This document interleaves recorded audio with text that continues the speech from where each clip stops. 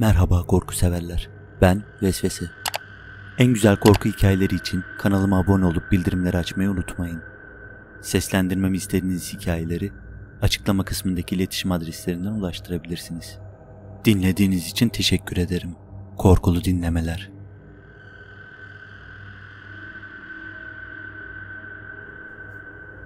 Merhaba.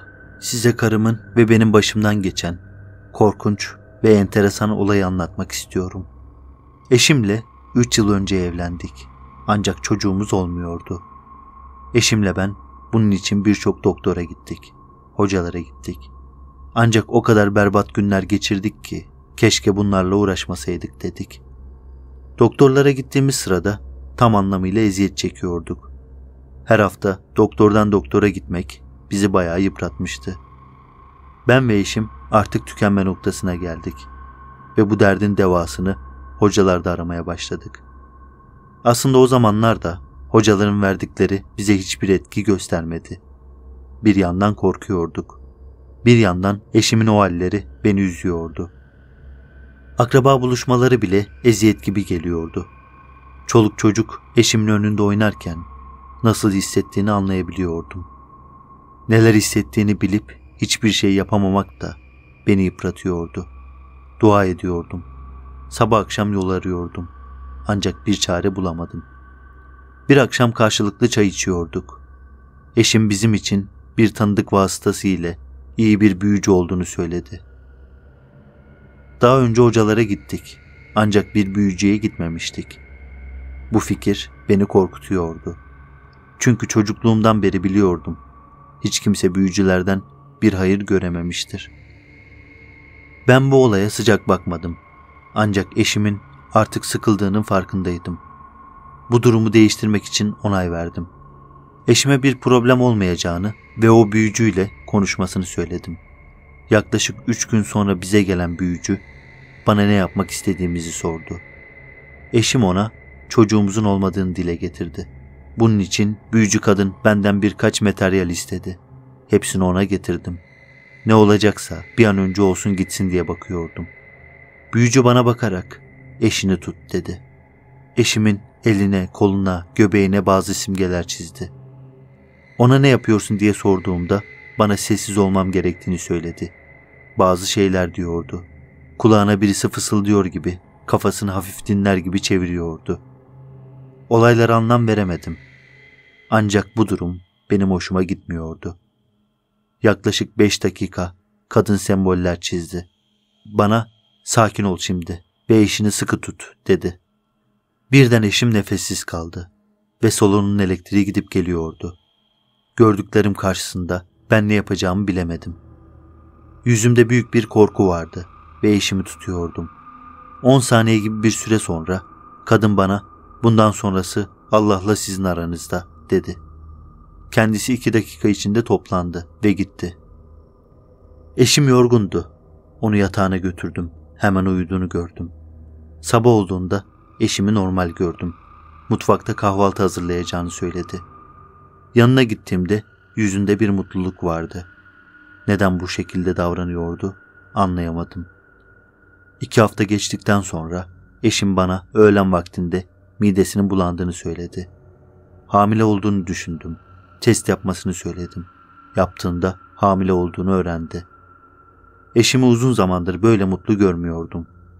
Bunun nasıl mümkün olabileceği konusunda aklımda da şüpheler vardı. Ben ilk başta ona bakarak iyi misin diye soru yönelttim. Bana gayet iyi olduğunu, hatta harika olduğunu söyledi. Korkuyordum. Çünkü bu kadar zaman doktorların bile iyi edemediği bir hastalığı nasıl o büyücü kadın geçirdi? Bu kafamı çok kurcalıyordu. Ancak şimdi eşim mutlu olsun diye sustum. Zamanı geldiğinde ona bu durumun beni rahatsız ettiğini söyleyecektim. Aradan sorunsuz bir ay geçti. Eşimin duygu değişimleri oldu. Ancak doktorlar bunun normal olduğunu söyledi.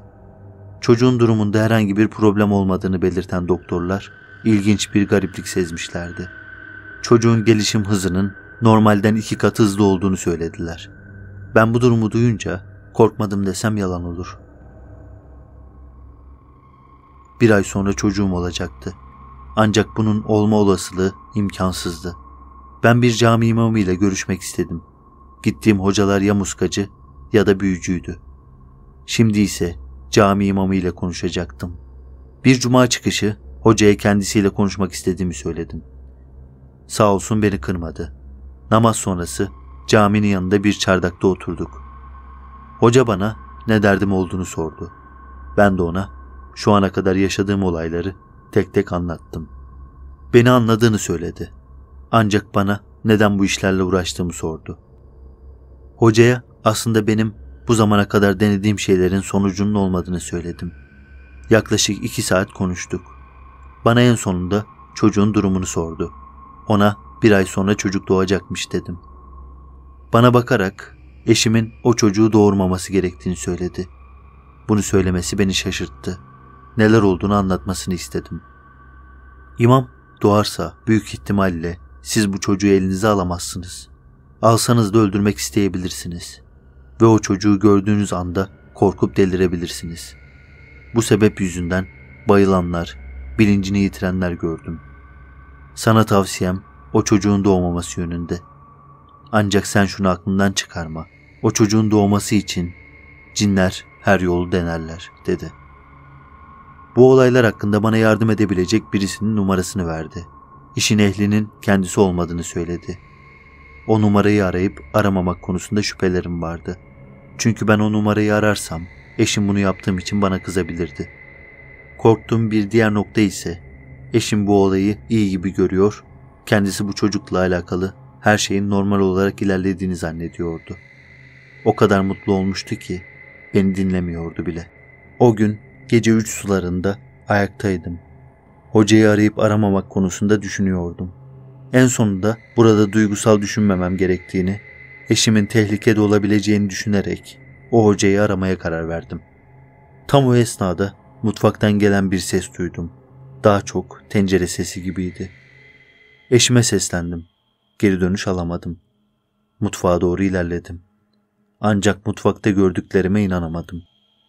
Eşim bana ismimi telaffuz ederek elinde bir oyuncak bebekle acıkmış, süt ısıtıyorum, sessiz ol dedi. Sanki aklımı kaybettiğimi düşünüyordum. Ben yavaşça geri giderken yatak odasından eşim bağırdı. Yatak odasına koştum. Ancak uyuyordu. Kendimi delirmiş gibi hissediyordum. Sabah olana kadar eşimin başında durdum. Sabah olduğunda ilk işim hocayı aramaktı. Aradım, durumu anlattım. Bizim durumumuzun acil olduğunu ve kısa süre içerisinde geleceğini bildirdi. Akşam ezanı okunmadan hoca geldi. Geldiğinde eşimin yüzüne ve karnına baktı. Beni odaya çekti. Eşinin karnında yazılar var dedi. Hocanın ne dediğini anlamadım. Siz ne yaptınız diyerek durumumuzun ciddi olduğunu ve yaşayacaklarımızın çok ağır şeyler olabileceğini söyledi.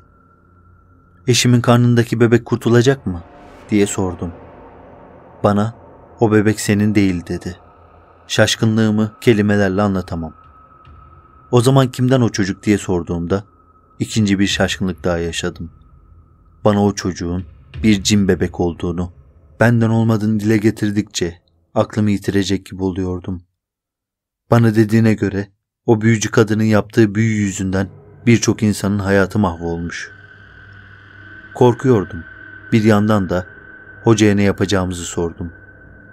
Hoca bana bunu engelleyebiliriz dedi ve bazı şeyleri getirmemi istedi. Getirdim. Hoca elindeki kağıdı saman dolu bir tasa yakarak attı. O anda eşim sancılanmaya başladı. Bana sakın ona dokunma dedi. Eşim hocaya onu bizden alamazsın. O kendi geldi diyerek bağırdı. Hoca senin buna hakkın yok diye ona bağırdı. Ve kağıdı attığı samanın üstünü kapattı.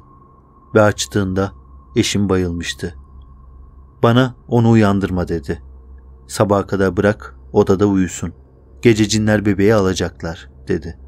Ben de salonda gece boyu bekliyordum. Hoca giderken bana korkmamam gerektiğini, eğer bir bebek istiyorsam bunu Allah'tan istememi söyledi. Söyledikleri doğruydu. Hoca bana bunları dedikten sonra gitti. Sabah olduğunda eşimin yatağı kandı. Sanki doğum yapmış gibiydi. Kendisi bana ne oldu diye yüzüme baktı. Büyücü kadın geldi mi dedi. Şaşırmıştım ve hayır dedim. Yaşadıklarımızı ilk baştan beri hatırlamıyordu. Aslında benim yanımdaki başından beri eşim değildi. Onu büyücü kadın geldikten sonra kontrol eden cindi. Bütün olaylar bittikten iki ay sonra eşim hamile kaldı. O evden taşındık. Şu anda bir sorunumuz yok artık. Allah'tan başka kimseden medet ummamayı öğrendim. İlk hikayemiz buraya kadardı. Sıra ikinci hikayemizde. Merhaba. Size köyümde nişanlımla başımdan geçen korkutucu olaydan bahsetmek istiyorum. İstanbul'da yaşıyorum ve bir nişanlım var. Ailelerimiz çok iyi anlaşıyor. Çok mutluyuz. Her şey bu kadar güzel giderken hayatımız nişanlımı akrabalarımla tanıştırmak için köyüme götürmemle değişti. O zamanlarda biz çok iyi anlaşırdık. Nişanlım beni dinlerdi. Ben de onu. Allah bu mutluluğu bozmasın diye çok dualar ettim. Ancak her şey ondan gelir. Biliyorum. Biz hiç de basit olaylar yaşamadık. Ben köye giderken son derece mutluydum. Eve girerken bile bizi güzel karşıladılar. Yemekler falan hazırlamışlardı. Bilirsiniz köy yerlerinde yemekler yerde yenir. Ancak onun da sıcaklığı bir başka olur. Biz de aynı şekilde oturduk, yemeklerimizi yedik. Konuştuk, çaylarımızı içtik. Bunlar bittikten sonra iş yatmaya geldi. Yataklar hazırlandı. Herkes odalarına geçti. Ve ne olduysa o ilk gece oldu. Nişanlım ilk gece bir kabus gördü. Seslerini duyduktan sonra annemle beraber odaya girdik. Ne olduğunu sorduk. Nişanlım son derece korkmuştu. Dilini yutmuştu sanki. Ağzından bir laf çıkmıyordu. O gece onu zorlamadım ve uyuyamadım. Sabaha kadar başında bekledim. Korkuyordum. Ne görmüş olabilir diye de düşünüyordum. Sabah olmuştu. Nişanlım son derece normal bir şekilde uyandı ve bana günaydın dedi. Sanki gece hiçbir şey yaşanmamış gibi bana bakıyordu. Ona anlamsız şekilde bakıyordum. Bana neden böyle baktığımı sordu ve hasta falan mısın diyordu. Anneannem nişanlımın o hallerini görünce kendisi de şaşırdı. Kızım iyi misin diye sordu. Nişanlım da niye sabah sabah ikinci kez aynı soruyu soruyorsunuz dedi. Sanki hafızası silinmiş, dün geceye dair hiçbir şey hatırlamıyordu. Ben şaşkın halimi bir süreliğine gizlemeye karar verdim. Herkes dün gece yaşanmamış gibi davrandı. Aradan bir gün geçti ve nişanlımın tavırları bana göre değişmeye başladı. Sanki benden soğuyordu gibi hissediyordum. Bir problem olmasın diye bana neden böyle davrandığını sormadım. Bir sabah nişanlım yemeğe gelmedi ve artık hiçbir sohbete, yemeğe gelmemeye başladı. Onu görünce bende de bir soğuma isteği gelmeye başladı. Olaylar bir anda ilginçleşti. Geceleri korktuğu için nişanlımın odasında o uyuyana kadar beklerdim. Bu sefer ben odadayken uyumak istememeye başladı. Bir hafta geçti. Bana artık odasına gelmememi söyledi. Ben de şaşkınlık içerisinde olur dedim. Bensiz uyuması beni şaşkına çevirmemişti. Bana çok yakın davranan, yanımdan ayrılmak istemeyen nişanlım yanıma gelmiyordu. Kafama koydum. Akşam üzeri uyurken odasına geçtiğinde onu izleyecektim. Acaba birisi mi var diye şüpheleniyordum. Gece olmuştu. Nişanlımın odasından konuşma sesleri geliyordu.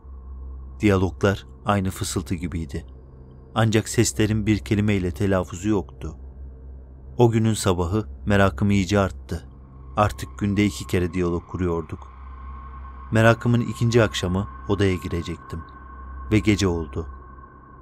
Herkes uyurken yeniden fısıltılar kulağıma geliyordu. Kapıyı aniden açtım ve onun o halini görünce şok oldum. Önünde bir kuru ekmek vardı. Ondan parça alıp yiyordu. Sen ne yapıyorsun burada diye bağırdım. Aramı bozacaksın, git buradan diye bana sert çıktı. Şaşırdım. Annemler uyandı ve herkes ayaklandı. Nişanlım hepsine bağırıyordu. Anneannem beni köşeye aldı ve bu kızın halleri hal değil oğlum. Muska yazdıralım, hocaya götürelim diye bir şeyler diyordu. Ben dinine bağlı Ancak bu büyüdür, faldır, hiç sıcak bakmayan bir insandım. Anneanneme gerek yok dedim. Ben bir psikolog bulurum diye belirttim. Anneannem tedirgindi ve bunu hallerinden anlayabiliyordum. Sanki daha önce böyle bir olayla karşılaşmış gibiydi. Ben kafamı kurcalayan bu olayı internetten bir psikolog tanıdığıma söyledim. Bana kişilik bozulması gibi bir olaya benzediğini söyledi. Ancak kesin bir teşhis için ofise gitmeliymişiz. Olayı bu şekilde kapattık. Sonra anneannem beni odasına çekti ve bana "Oğlum, sen inanmazsın belki ama bu kıza bir şeyler musallat olmuş.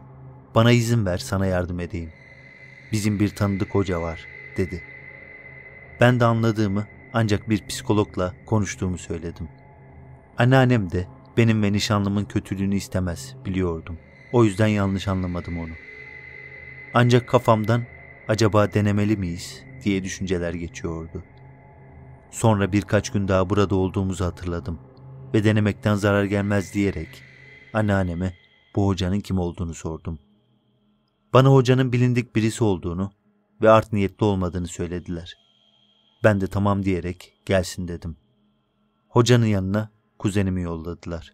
Kuzenim oraya gittiğinde daha ağzını açmadan hoca yarın geliyorum hanım kızımıza dikkat edin demiş. Buna çok şaşırdım. Daha ailemizden başka kimse bu olayı bilmiyorken hoca nasıl biliyordu? Ertesi sabah oldu. Hoca bizim köye yakın olan başka bir köyde olduğu için öğlene doğru geldi. Gelir gelmez bana bakarak selam verip kızımız iyi mi diye sordu. Ben anlamakta güçlük çekiyordum. Nişanlım öğlene kadar uyudu ve öğlen bir gibi ben hoca ile sohbet ederken dikkatimi bir şey çekti. Dışarıdaki pencereden baktığımda evimizi bir şey gözetliyordu. Nişanlımın olduğu odaya gözlerini dikmiş bakıyordu.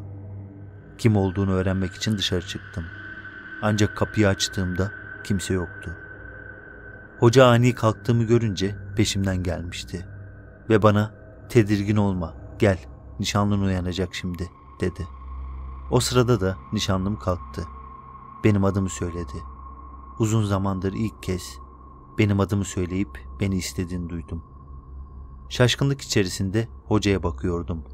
Ancak nişanlımın bana sarıldığını hissediyordum. Korkmuş titriyordu. Hoca bana bakarak korkmanıza gerek yok. Akşam ezanı okunduktan sonra kızımızı bana getirin diye tembih etti. Akşam ezanından sonra yola koyulduk. Nişanlım yanımdaydı. Kuzenim ve anneannem arkada. Bana nereye gittiğimizi sordu. Sanki ani duygu değişimleri yaşıyor gibiydi. Konuşması değişikti. Anlayamıyordum.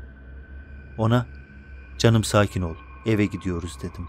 Kandırmak istedim onu. Ancak bana bakıp ben o hocaya gitmem diye bağırdı. Arabayı durdurdum ve nişanlımı anneannemin yanına geçirdim. Ben de yanında onu tutuyordum. Sonra birden nişanlımın bayıldığını gördüm. Korktum bir şey oldu diye. Ancak anneannemin dua ettiğini, Kur'an'dan ayetler okuduğunu gördüm. Anneannem okudukça nişanlım rahatlıyor gibiydi. Ben de sustum ve yola devam ettik. Tam hocanın evine girecekken nişanlım kulağıma beni kurtar diye fısıldadı. Onu o halde görmek beni üzüyordu. Direkt hocanın evine götürdük ve nişanlımı bir koltuğa yatırdım. Hoca bana burada korkmayın Allah'ın izniyle eşinize bir şey olmayacaktır dedi. Hoca bazı bakır tas, kağıt gibi materyaller çıkardı. Ne yapacağını anlamadım. Bana bakarak, bak oğlum, bu kıza bir cin aşık olmuş dedi. O yüzden seni gördükçe bu kız eski halini görmüyor. Ona seni çirkin olarak gösteriyorlar. Eğer iyileşmesini istiyorsan gözlerini kapat dedi. Ona neden diye sorduğumda sen görünce hiç iyi olmaz. O yüzden sen gözünü kapat ve eşini sıkıca tut dedi. Anneannemler de aynı şekilde nişanlımı tuttular. Hoca bazı ayetler okudu. Sonra başka şeyler okumaya başladı. Nişanlım ne oluyor diye bana seslendi. Onu kurtarmamı istedi. Hoca sakın onu dinleme. O eşin değil dedi. Ben de dinlemedim ama içimde gözümü açma isteği vardı. Ancak hoca durmadan beni tembihliyordu. Ben de onu dinledim. 10 dakika gibi bir süre içerisinde nişanlım uyudu. Hoca bana onun öldüğünü, nişanlımın iyi olduğunu söyledi. Şaşırdım. Nişanlım uyuyordu. O uyanmadan hocayla konuşmak istedim. Hoca bana senin eşin bir cinin aşkına maruz kalmış. Bu yüzden aranızda soğuma olmuş. Eşin şu an kurtuldu bu beladan ama bu tekrar olmayacak anlamına gelmez dedi. Beni onu korumam, yalnız bırakmamam konusunda uyardı. Köye gelmeden önce kavga ettiğimizi hatırlıyorum. Ciddi bir şey yoktu. Ama sanırım bundan çok etkilenmiş ve üzüntüden ruhunun enerjisi düşmüş. Cinler böyle anlarda çok musallat olurlarmış. O esnada bir cin fırsat görüp ona aşık olmuş. Yani olay biraz da benim yüzümdenmiş. Hoca bana eşini üzme diye tembih etti ve bazı muska tarzı malzemeleri nişanlıma verdi ve bunları yanından ayırma dedi. Bu olayların ardından evlendik. Bir çocuğumuz var. Artık bir problem de yaşamıyoruz. Ancak hocanın dedikleri de hep aklımda. Hiç unutmuyorum. Verdiklerini de evimizden eksik etmiyorum. Hikayenin sonuna geldik. Dinlediğiniz için teşekkür ederim. Mobil uygulamamızı hala indirmediyseniz açıklamadaki linkten indirebilirsiniz. Sonraki hikayelerde görüşmek üzere, hoşçakalın.